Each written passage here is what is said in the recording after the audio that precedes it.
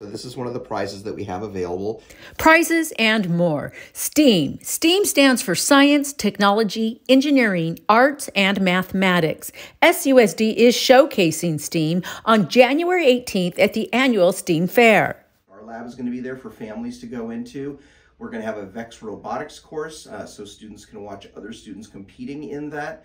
We're going to have lots and lots of giveaways both for educators and for families. So we're really trying to make this a nice community event to show. The event will showcase projects, Star Lab Planetarium, robotics tournament, and more. So we're going to have two categories, big categories for students to compete in. Uh, we have the showcase events, so that could be science fiction story writing, that could be a Rube Goldberg machine. There's a whole variety of things could do.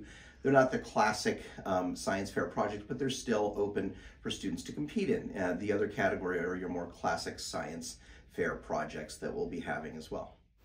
There will be prizes. So we have the traditional prizes of ribbons and medals and trophies, uh, but we're also having some cash prizes this year. So first place for various categories is going to be $300, second place will be $200, and third place will be $100.